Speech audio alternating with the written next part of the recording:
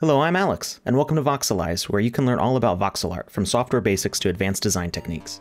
In this series, I'll be showing you VoxEdit, a new program with some amazing features not seen in any other voxel software. VoxEdit is the free modeling tool for creating assets in the upcoming game, The Sandbox. Players will be able to create, buy, and even sell their own game assets using blockchain, as well as construct worlds to play and share with the assets they've built and bought. This video series is sponsored by the Sandbox's Creator Fund. I'm one of the many artists working on pre-launch assets. If you're interested in learning more about the Sandbox game, or if you're a voxel artist who would like to apply for the Creator Fund, visit sandbox.game or check out the links in the description.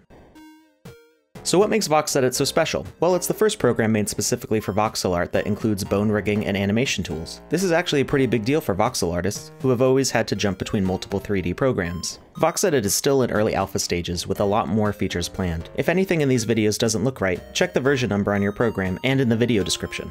You can always grab the latest edition of the program from the VoxEdit website and I'll make updated videos as needed.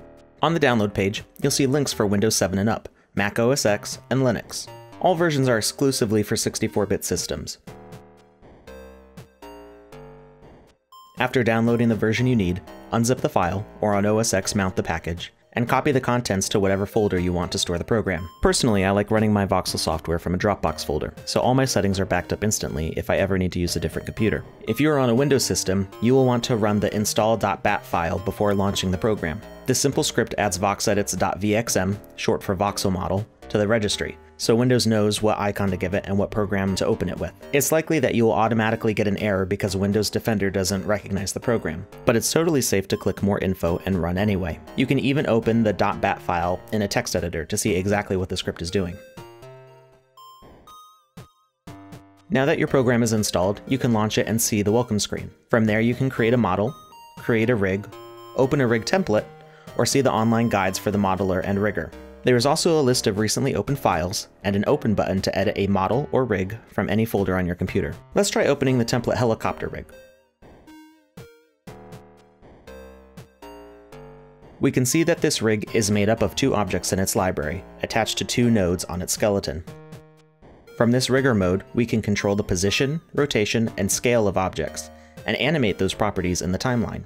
Clicking the edit pencil on an object in the library will bring us to the edit mode, where we can change the model by adding, removing, or coloring voxels, as well as changing the boundaries of the object and its pivot point. Clicking on the rig button will give us an opportunity to save the model, and the rig will automatically update to show our changes. I hope you found this quick intro to VoxEdit helpful. Next week we'll take a look at all the tools VoxEdit's modeler has to offer. Be sure to ask any questions in the comments, and I'll try to answer them there or address them in a future video. Thanks for watching, and be sure to subscribe and hit the bell to be notified when the next video is published.